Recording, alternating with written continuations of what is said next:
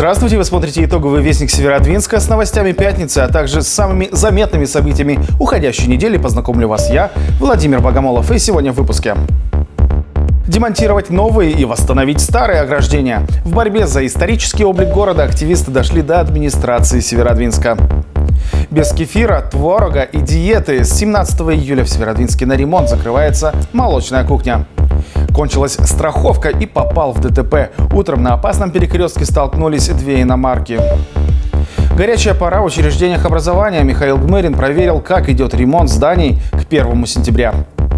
Войнушка звездочки члены профсоюза сыграли в лазертаг. Из 20 команд в полуфинал вышло 10. Кто попал на битву четырех, узнаем в рубрике «Спорт». Ремонтируют кровлю, фасады, обновляют вестибюли. Школы Северодвинска готовятся к началу нового учебного года. Успевают ли в срок, сегодня проверил глава города Михаил Гмарин. К первому сентября готовятся не только юные северодвинцы, но и школы. В 24-й, например, обновляют вестибюль, фасад, ремонтируют кровлю. К выбору цвета для фойе подошли серьезно. После окончания работ ученики вестибюль не узнают. Он будет ярким и светлым. Как убедился мэр Северодвинска Михаил Гмырин, на фасаде здания сегодня ведется масштабный ремонт. Но мы обращали внимание вот на то, что вот эти все разрушения должны убираться. То есть, вот видите, все.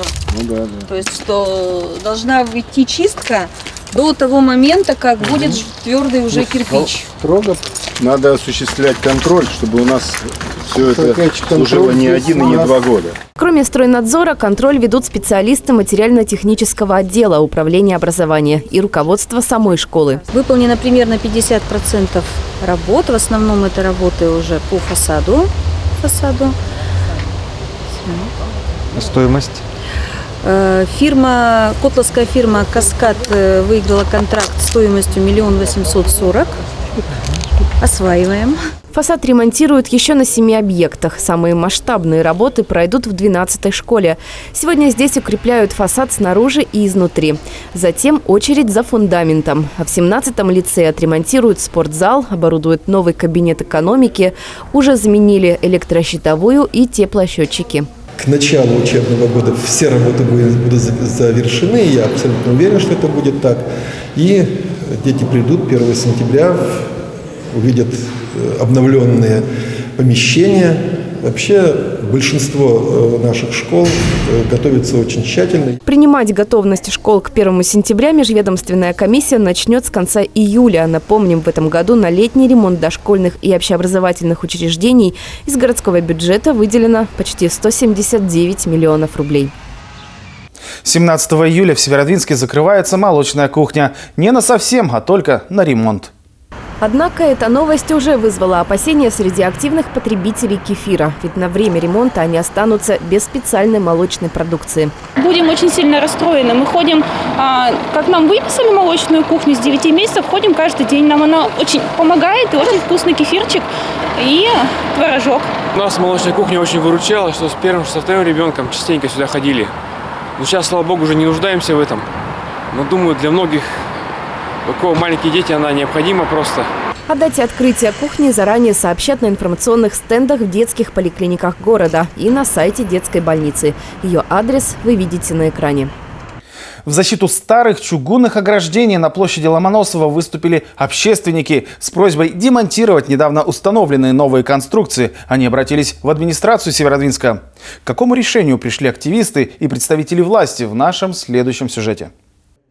Нужно восстановить исторические фигурные ограждения, так считают активисты. Их взволновал демонтаж чугунных конструкций, составляющих архитектурный ансамбль улицы Ленина. На площади Ломоносова мы предлагаем вернуть старые чугунные ограждения, а леерные ограждения оцинкованного типа поставить со стороны проезжей части. Они будут зонированы еще кустарником и поэтому не так будут заметны. Новые метровые заборы, оберегающие безопасность пешеходов, необходимы по ГОСТу. Однако в Северодвинске нет правил, определяющих выбор типа конструкции. Всего их 12. Работы по установке новых леерных ограждений на площади Ломоносова начались в конце июня. Здесь установлен вот такой седьмой тип – Общественники сетуют. Даже во дворах сотрудники ЖКХ устанавливают ограждения на свое усмотрение. Эти ограждения, причем в приоритете у них не э, жизнедеятельность пешеходов, а жизнедеятельность автомобилей. Поэтому ограждение ставится не со стороны проезжей части, а э, со стороны пешеходной части, зонируя пешеходную зону и газоны. Собственно, это и вызвало возмущение у жителей города. Город разделился на два лагеря. Первый выступает за сохранение исторического облика Северодвинска. Вторым больше нравится мысль о безопасности. Маленькие дети не выбегут на дорогу, да и газон больше не будет вытаптываться. Часто бывают ремонты да, на крышах. И люди ходят в обход. Понимаете? Людям уже не обойти. Во-вторых, ну это история. Понимаете? А вот эти ограждения, они больше похожи на какие-то там кладбищи, кладбищенские. Это очень красиво. И причем действительно большая безопасность для таких вот малышей, как мой внук. Если красота, эстетика, то нам больше это нравится. Естественно, если бы это было более качественно, потому что я знаю, что очень много эти веерные ограждения, они ломаются. Мы, конечно же, будем прислушиваться в дальнейшем к мнению общественности города при э, установке подобных ограждений. Вопрос возник по площади Ломоносова. Посмотрим, что там можно действительно будет поправить. И э, в будущем я предложил даже, чтобы общественность участвовала при согласовании проектов подобных по итогам встречи с общественниками Александр Усов, временно исполняющий обязанности заместителя мэра по городскому хозяйству, дал подчиненным распоряжение запланировать на следующий год средства на содержание старых чугунных ограждений. Также в будущем техзадания по установке новых ограждений будут согласовываться с управлением строительства и архитектуры города. Елена Стеканова, Станислав Крылов, Вестник Северодвинска. С июля придется платить больше по квитанциям. В Архангельской области планово пересмотрели стоимость тарифов ЖКХ. Больше всего подорожала холодная вода, но есть и некоторые услуги, цена которых осталась неизменной. В среднем коммунальные услуги по Северодвинску возрастут на 4,7%. Больше всего подорожали холодная вода и услуги водоотведения. Сразу на 8,8% и на 6,7%. Если брать в абсолюте, то э, холодная вода кубометр подорожает на 2 рубля 44 копейки, и услуги водоотведения кубометр подорожает на рубль 84. Тепловая энергия, идущая на отопление, увеличится на 3%.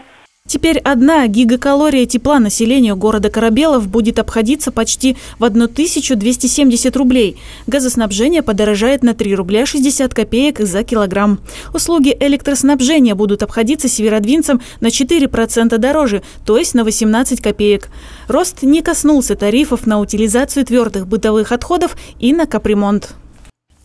Вместо бумажного больничного листа с этого месяца можно будет получить и электронный. Первыми испытывать новый проект начали медработники ЦМСЧ-58 и Центра имени Симашко. Каких удобств и проблем ждать от электронной версии в нашем следующем сюжете? С июля действуют оба формата больничного листа – бумажный и электронный. Какой бланк оформить при выписке – решать пациенту. А пока новую систему испытывают на себе медработники. В ЦМСЧ-58 уже выдали два электронных больничных.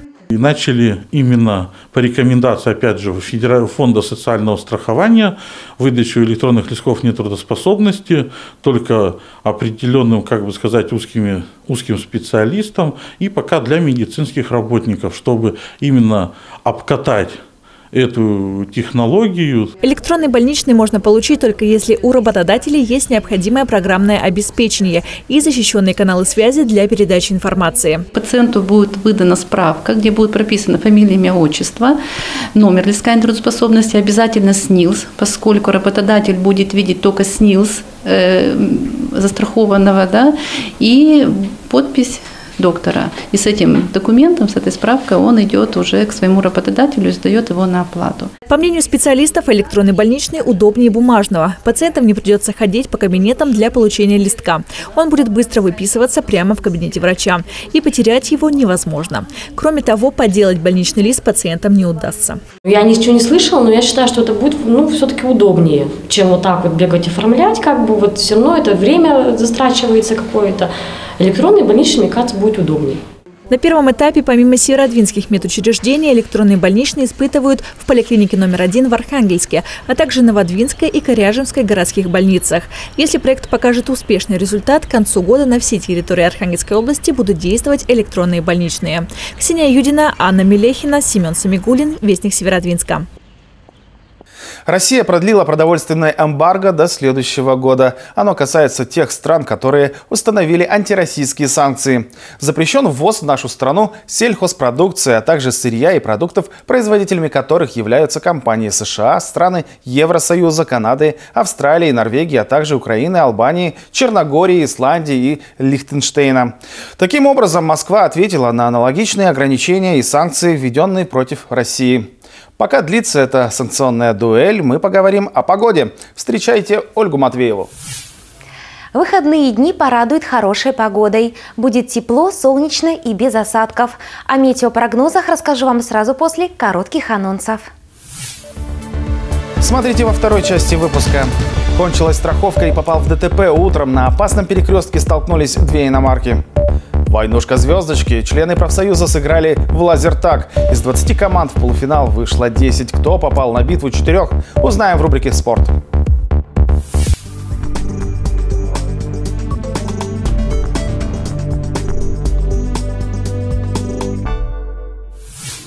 О метеопрогнозах расскажет вам Небесная канцелярия. И вас приветствую я, Ольга Матвеева, и наш спонсор – медицинский центр «Здоровье». Медицинский центр здоровья предлагает услуги по проведению периодических и предварительных медицинских осмотров для частных лиц и организаций. Ждем работников общепита, образовательных и лечебных учреждений, сферы бытовых услуг, строительных компаний и предприятий по производству питания. Поможем вам оформить санаторно-курортные карты и медицинские справки для поступающих в учебные заведения. Участвуем в программе государственных закупок. Ждем вас по адресу проспект Морской, 53. 8 июля по данным сайта Архангельского гидромедцентра в Северодвинске ночью ожидается 11 градусов тепла, днем плюс 17, переменная облачность без осадков, ветер северный до 5 метров в секунду, атмосферное давление в течение дня будет расти и к вечеру составит 756 миллиметров ртутного столба, а в воскресенье 9 июля ночью 10 градусов тепла, днем плюс 17, переменная облачность без осадков. По народному календарю 8 июля день Петра и Февронии. На Руси было принято молиться этой паре святых о благополучии в семье и просить у них благословения на свадьбу. С этого дня ждали еще 40 жарких дней. А я напоминаю, что медицинский центр здоровья предлагает услуги по удалению новообразований кожи за несколько минут. Современное оборудование, щадящие процедуры, доступные цены. У меня все, я прощаюсь, а Вестник Северодвинска продолжается.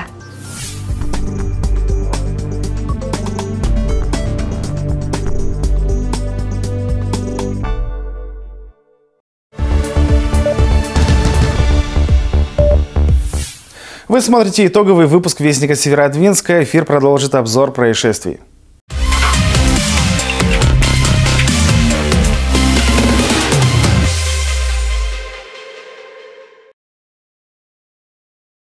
Чем приманить рыбку на крючок? На помощь рыбацкой смекалке приходят всевозможные прикормки, активаторы клева и наживки в магазине «Рыбак». Для ловли в озерах, реках и на море всегда в продаже живая наживка, опарыши простой, красный, крупный, простой в эконом-упаковке. Каретра и мотыль для аквариумистов. Прикормка супер универсальная с живым опарышем. Черви дендробена и навозные. Большой выбор сухой прикормки для ловли карпа, карася, леща и плотвы. Магазин «Рыбак» на Южной 34 в Северодвинске и на Садовой 8 и окруженном шоссе 13 в Архангельске. Виск шин и скрежет металла были слышны сегодня утром на перекрестке Архангельское шоссе Юдина. Столкнулись две иномарки. За рулем Митсубиси была девушка. Она рассказала нам, ехала на работу, когда случилось неожиданное. На зеленый сигнал светофора поехала согласно правилам прямо, и машина вывернула налево, не убедившись, что едет машина. В связи с этим у нас произошло столкновение. Подушки и ремень безопасности уберегли Северодвинку от травм. Водитель Ховара от комментариев на камеру отказался, но в личной беседе рассказал, старая страховка кончилась, а новую как раз ехал оформлять. В этой ситуации придется разобраться дорожным инспектором. Примечательно, накануне вечером на этом же перекрестке произошла похожая авария. В ДТП попали «Жигули» и «Ауди». Дым и шум от искрящейся проводки всполошили в воскресенье жителей проспекта Победы 48. В многоэтажном доме сразу на нескольких этажах загорелись электрощитовые. Пожарные помогли эвакуироваться 18 жителям. Говорят, тут вообще искрило было очень сильно. Да, вообще всех выводили на улицу. Что опасно? Да. Вот. Ремонт надо. У нас теперь телевизоры не работают, интернет не работает, ничего у нас не работает. А электричество-то хоть есть? Электричество у нас вот есть по этой стороне. А по той стороне, наверное, еще? По этой нет. Лет 10 назад, вспоминают жильцы, в доме уже был подобный пожар. В этот раз огонь уничтожил электрощитовые с 5 по 12 этажи подъезда и 22 погонных метра электропровода. Полицейские просят помощи северодвинцев. Разыскивается Тропников Сергей Михайлович, который 27 июня этого года, находясь в СНТ «Северные зори», ушел в неизвестном направлении и пропал. Приметы на вид 45 лет, рост 177 сантиметров, среднего телосложения, лицо овальное, волосы светло-русые, короткие, лоб высокий, нос прямой, широкий. Был одет в черную бейсболку, темно-синюю толстовку с капюшоном, голубые джинсы, черную шерстяную кофту, спереди с горизонтальными белыми широкими полосами, зеленую футболку, черные кожаные ботинки берцы. Всех, кто знает о местонахождении разыскиваемого или видевших его, просьба позвонить по телефону 56 07 67 или 02. А сейчас подведем итоги культурных событий. Обзор подготовила Мария Воробьева.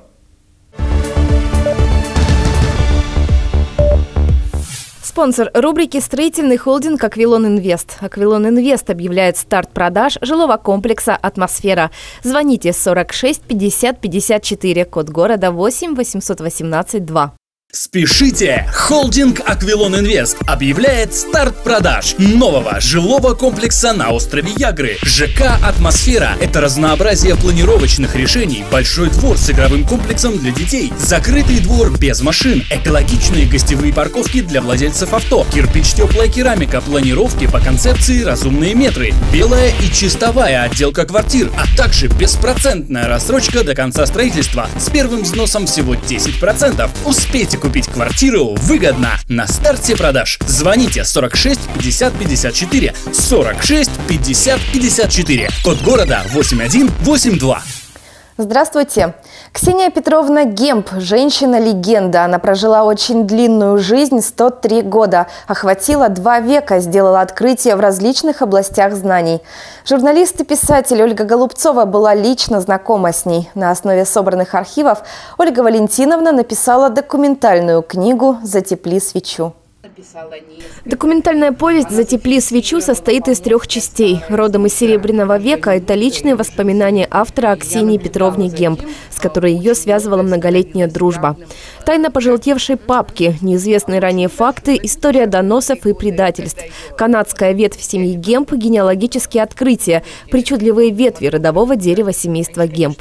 Ксения Гемп – человек, посвятивший всю свою жизнь просветительству, человек, открывший пенициллин на водорослях, человек, спасший тысячи жизней блокадников. В годы войны Ксения Петровна Гем попала в блокадный Ленинград. Каждый день она ходила на Нарвскую заставу, где сохранились запасы водорослей. И она там готовила э, живительную эту установку. И они сделали, собрали ее э, в течение нескольких недель. И производство водорослей, пищевых добавок э, в рацион блокадным ленинградцам было налажено. Она спасла сотни тысяч жизней именно вот своим этим трудом. В чем секрет долголетия Ксении Гемп и что обсуждалось на сборищах в ее доме? Об этом и многом другом читатели смогут узнать в книге «Затепли свечу». Тираж книги будет равняться количеству заказов на нее. Уже сейчас книгу можно купить на сайте интернет-магазина издательства «Лоция». Все еще разыскиваются гламурные четвероногие. Запись на конкурс красоты среди собак и кошек «Сами с усами» уже стартовала. Его особенность не важна ни порода, ни родословная. Главное – красота, грация и взаимоотношения с хозяином. Финал пройдет в День города 29 июля. Этот конкурс объединит усатых-полосатых уже во второй раз. Организаторы уверены, гламурными могут быть не только клейменные, но и беспородистые собаки и кошки. Но они также любимые, они также красивые, они также э, ну, приносят хорошее настроение. Ну, это член семьи, поэтому мы их обойти никак не могли. Костюмы, прически своих любимцев, домашние задания, а также презентацию владельцы покажут в Парке культуры и отдыха 29 июля. В этом году в образе должны быть и хозяева собак. Кстати, к участию допускаются не все. Собака должна быть провакцинирована, проглистогонена, неагрессивна и без хронических заболеваний. Не смогут поучаствовать и беременные животные. Владельцы остальных питомцев могут вступить в группу ВКонтакте. Ее адрес вы видите на экране. До 28 июля всем конкурсантам кошек и собак необходимо зарегистрироваться ВКонтакте, выложить фото своего питомца, заполнить анкету по адресу город Северодвинск, улица Ломоносова, 97, офис 1. Для кошек будет фотоконкурс. В этом году в ряды мяукающей братьи снова вступят и 20 подопечных приюта бездомных животных «Четыре лапы». Люди смогут посмотреть эти фотографии, прочитать их описание, а понравившееся животное забрать домой уже дипломированным. Приходите, поддержите нас. Самих кошек на финале не будет, только их фото. А вот гавкающие друзья ждут поддержки 29 июля в 14 часов. Похвастаться фантазией хозяина и своим характером сможет каждый пес. Молодец. Я, говорит, тоже хочу. Вот, На сегодня у меня все. Хороших вам выходных. Не скучайте.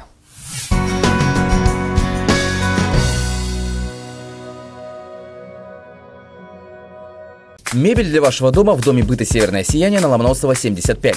В салоне диваны и кресла вы найдете большой выбор диванов от демократичных до неподражаемых. Модели от мебели фабрики Андерсон. Салон корпусной мебели Ляром. Модульный принцип коллекции мебели для спален, гостиных прихожих и детских комнат. Фирменный салон Аскона – это легендарные ортопедические матрасы, кровати и диваны. Роскошная мебель по доступной цене в салоне Интердизайн. Диваны, кровати, матрасы, подушки, корпусная мебель в одном месте. Ждем вас в доме быта «Северное сияние» по адресу Ломоносова 75, второй этаж. Внимание! День семьи, любви и верности в Приморском парке. 8 июля в 11 часов там начнется фестиваль семей. На площадке Бродвей творчества можно будет научиться различным мастер-классам. На площадке Beautiful Street узнать о секретах красоты, а мужскому полу сменить прическу. Будет работать на фестивале и площадка Ионит Телеком. Горожан ждут подарки и игры с ростовой куклой. Оператор кабельного ТВ, интернет-провайдер приглашает семьи полезно и интересно провести свой выходной.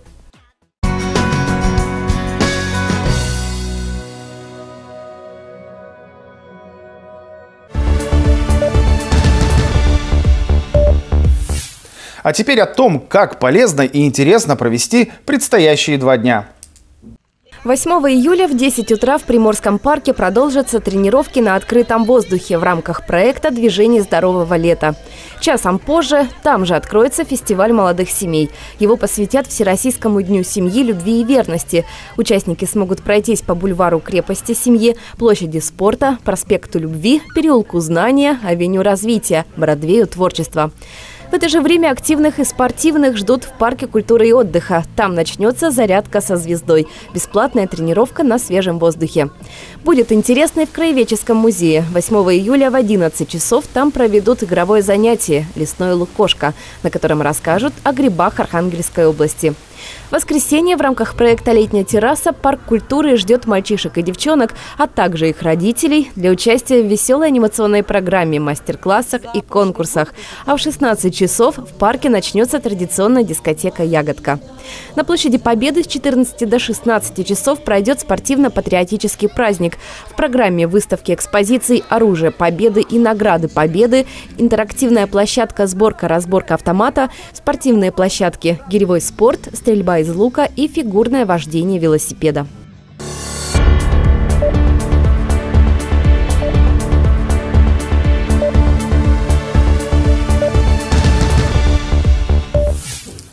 И о спорте. На лыжной базе «Фокс Звездочка» прошел турнир по лазертагу среди членов профсоюза. Из 20 команд в полуфинал вышли 10. Кто одержал победу и сыграет в финальном поединке, смотрите прямо сейчас.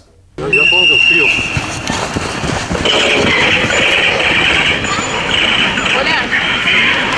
Так в рассыпную бросились в атаку члены профсоюза «Звездочка». В войнушку на этом поле играют пять команд. Задача каждой захватить базу противника. В руках оружие с инфракрасными излучателями, на голове датчики поражения. У каждого игрока по 4 жизни и 210 патронов на самозащиту. Но чтобы одержать победу, этого мало. Нужно бегать быстро. Уметь бегать, уметь прятаться, уметь хорошо стрелять. Метко. Ну, качество, ну, качество сплоченности только в команде.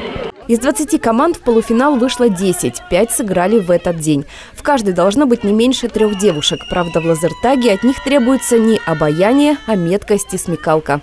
Алена Фокина играет за Россельхозбанк уже не в первый раз. У меня вот после первой игры очень сильно болят, болят ноги до сих пор. Три дня прошло. Это вообще здорово. Даже лучше всяких спортзалов, качалок. Не то, что так за компьютером дома сидеть.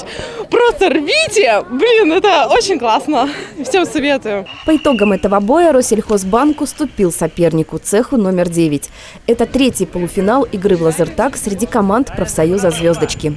А игроки все приходят разные, с разным настроением, с разным настроем, с разными эмоциями. Уходят все на одной волне, абсолютно все заряженные. Они дышат даже, можно сказать, в такт друг другу. То есть они понимают уже, что хочет э, и как хочет их э, товарищ, партнер, собрат по оружию.